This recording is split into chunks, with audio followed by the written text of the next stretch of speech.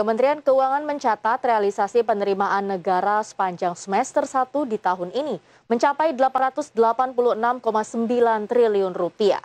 Dan angka tersebut tumbuh 9,1 persen secara tahunan.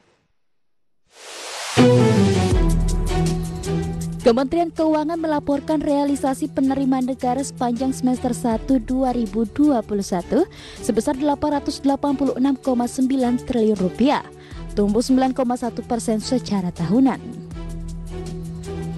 Pencapaian tersebut setara dengan 50 persen dari target penerimaan negara hingga 2021 sebesar 1.743,6 triliun rupiah.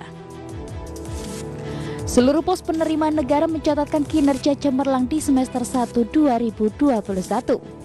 Pertama, penerimaan pajak mencapai 557,8 triliun, tumbuh 4,9 persen secara tahunan. Angka tersebut setara dengan 45,4 persen dari target sebesar 1.229,6 triliun rupiah. Kemudian realisasi penerimaan bea cukai selama semester 1 2021 sebesar 122,2 triliun rupiah, tumbuh 31,1 persen secara tahunan. Pencapaian itu pun setara dengan 56,9 persen dari target sebesar 215 triliun rupiah.